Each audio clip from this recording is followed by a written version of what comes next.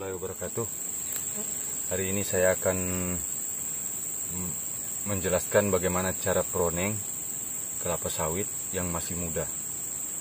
Uh, ini video yang saya ambil sekitar empat tahun yang lalu, ketika saya mulai mulai mulai mulai merekam, tapi terputus di jalan. Uh, ini akan saya bagikan. Ini kelapa sawit saya untuk khusus untuk kelapa sawit saya, saya pakai Songgo 2 begitu kalau di tempat lain mungkin saya tidak tahu juga. Tapi kalau misalnya saya lihat rata-rata orang pakai Songgo 2 bosku. Begitu. Uh, banyak. Banyak hal yang harus diperhatikan juga ketika kita proneng uh, kelapa sawit yang masih kecil. Karena kelapa sawit yang masih kecil ini uh, sangat rentan terhadap kekeringan. Jadi dia tidak boleh sama sekali digantung buahnya.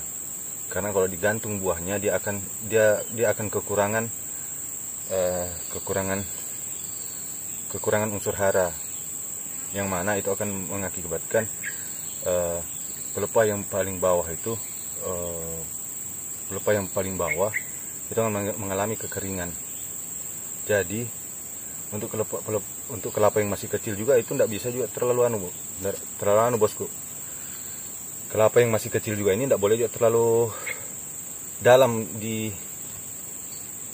di pronengnya karena itu akan mengakibatkan pokok akan mengecil. Nah, ketika kita mau kasih dalam dia harus sudah terbentuk pokoknya pokok bawahnya pokok langsing apakah pokok gitar Spanyolnya itu. Kan pokoknya itu ada yang ah pokok gitar Spanyol lah seperti itu.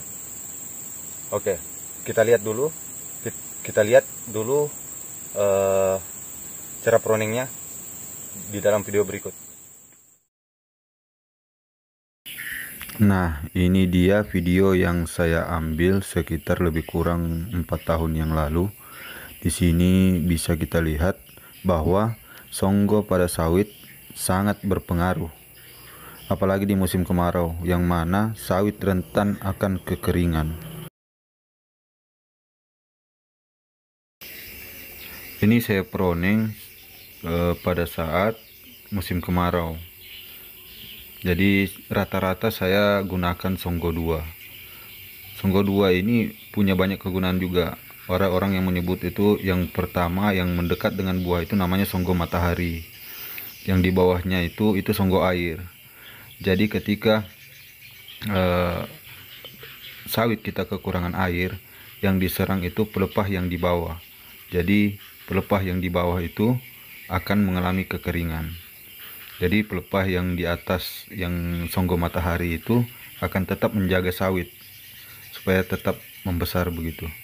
Apalagi ketika kita memupuk di bulan kemarau. Memupuk di bulan kemarau itu ya rentan sekali kekeringan karena unsur urea itu kan membuat uh, tanaman menjadi kering. Seperti itu. Oke simak aja videonya. Uh, cara-caranya sampai akhir ya bosku.